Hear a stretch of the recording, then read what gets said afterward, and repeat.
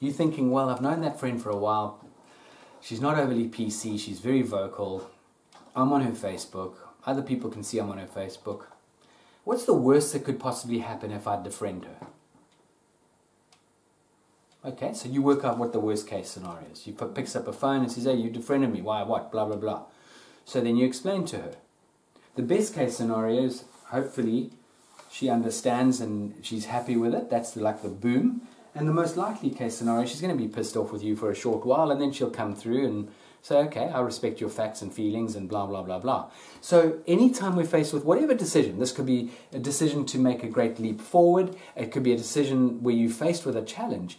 It's something I put to paper every time I need to make a decision. And the most important one is once we know what the worst that can actually happen is, and we sort of figure it out, we're almost mentally preparing ourselves for the worst. So everything else above that or below that is going to be a bonus. Mm-hmm. And I want you to share this with your students, teaching them how to put things into perspective. Thank you for watching.